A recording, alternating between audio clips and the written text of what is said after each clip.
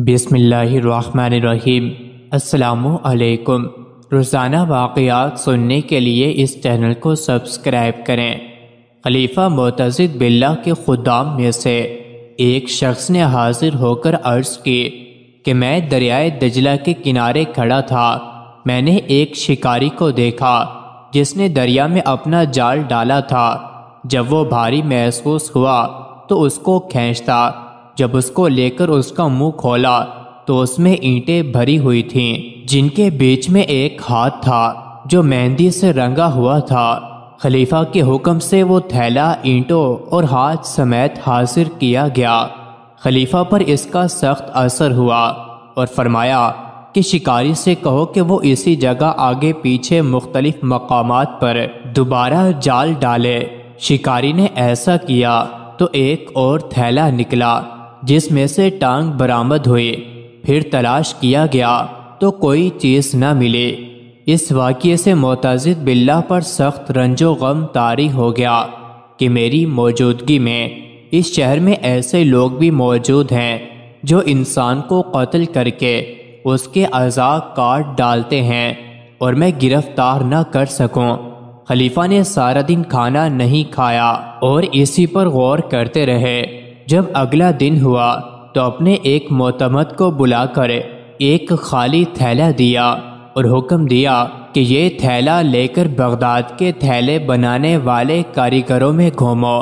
अगर उनमें से कोई शख्स इसको पहचान ले कि ये उसका बना हुआ है तो उससे पूछो कि ये तुमने किसके हाथ फरोख्त किया था।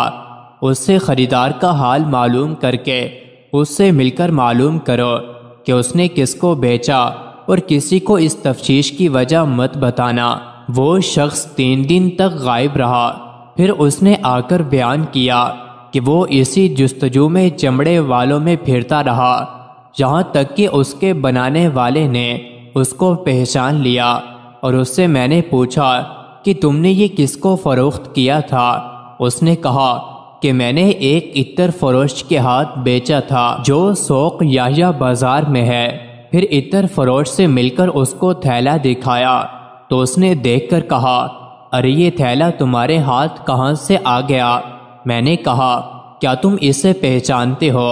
उसने कहा हाँ तीन महीने हुए मुझसे। दस थैले फला हाशमी ने खरीदे थे। मैं नहीं जानता कि किस गर्ज से उसने लिए थे। मैंने कहा, वो हाशमी कौन है? उसने कहा कि वो अली बिन रैद के बेटों में से है, जो मेहदी की औलाद में से था। मगर वो बदतरीन इंसान और सबसे ज़्यादा जालिम और मुआज़ मुसलमान औरतों के लिए एक फसाद अजीम है और फरेबकारी में उससे ज़्यादा मकार कोई ना होगा। और ऐसा कोई शख्स नहीं, जो उसकी एज़ा रसानी और हकूमत में उसके असर रसूख और मालो दौलत के खौफ की वजह से मोतज़द को उसके मुजालिम से ख़बरदार कर सके।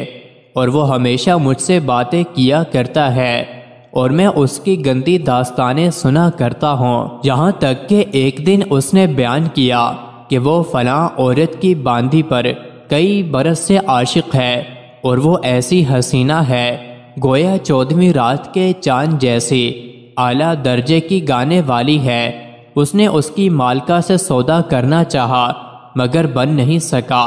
जब चंद आयाम गुजर गए तो उसे मालूम हुआ कि उसकी मालिका उसको एक गाहक को बेच देना चाहती है। वो आ गया है। उसने उस पर हज़ारों दिनार लगा दिए हैं। यह सुनकर उसने मालिका को अपनी ताकत के ज़ोर पर मजबूर किया कि इस बांदी को सिर्फ़ तीन दिन के लिए इसके सपुर्द कर दे।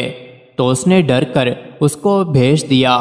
फिर जब तीन दिन गुजर गए तो उसको गजब कर गया और उसे ऐसा गायब किया कि कुछ पता नहीं। और वो ये कह रहा है कि वो घर से भाग गई है और उसके हमसाए कहते हैं कि उसने उसे कत्ल कर दिया।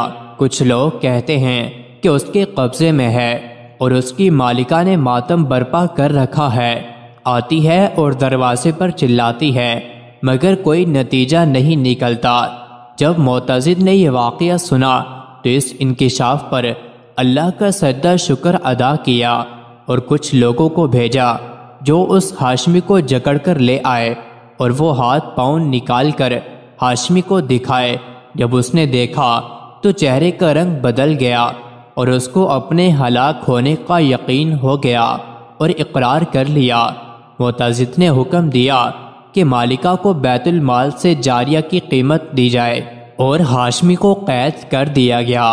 बास रवायात के मुताबिक उसे कत्ल करार दिया गया और बास रवायात के मुताबिक वो कैद में मर गया।